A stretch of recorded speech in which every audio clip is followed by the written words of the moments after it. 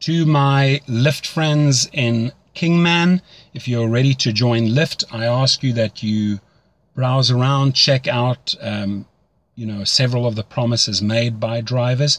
Um, if you come across these blog codes and websites that offer you these insanely misleading high amounts, they just don't happen. A bonus is based on the supply and demand of drivers in a particular city on a particular day. That is how Lyft bases their amounts that they pay out. It's the same from any other driver. What I offer you is the same that Jack and Jill will offer you.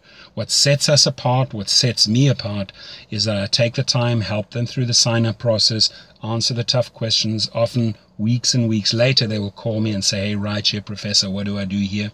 I show them how to get referrals. I show them how to get repeat business. I show them how to make 20 to 30% more than the average driver by going over te- techniques such as how do we handle events, airports, hotels, uh, tourists, etc. You want to really, really master this game in the beginning and not squander day after day, trip after trip, only learning tiny little bits of information yourself. So learn from a pro. I love helping the people. You can always reach out to me first, ask me the tough questions, and we can go over what awaits you. Have a great day.